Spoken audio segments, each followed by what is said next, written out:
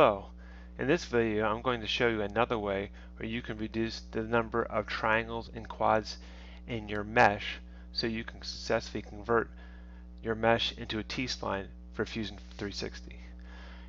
In this method, you're also going to need to use Blender. So I'm on the, the, the startup screen. I'm just going to hit A, A, and then delete, and I'll delete these two things. And this time I'm going to File, Import, and this time I'm going to import an STL file.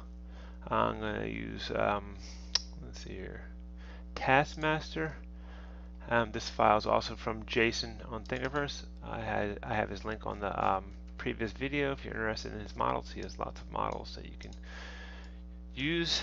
Um, so this is the Taskmaster, and then so what we're going to want to do is select it so you um, and change into edit mode. So we're going to either hit Tab or go into edit mode down here.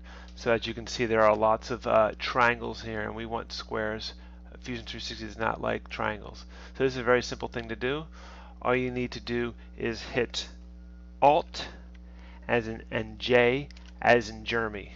So that was Alt and J as in Jeremy and that will reduce the triangles as you can see. Um, if, if you want I can show you again. So so all those triangles in here, and then if I hit Alt J, they're all gone. So then, once you um, reduce the number of triangles, you could either cut this in half like I did in my previous video, and then export it as an object file. You're going to want to um, export this as an object file because if you um, export it as an STL file, I noticed that this um, reduction of triangles does not save. So you have to save this as an object file and then you can upload that into Fusion 360.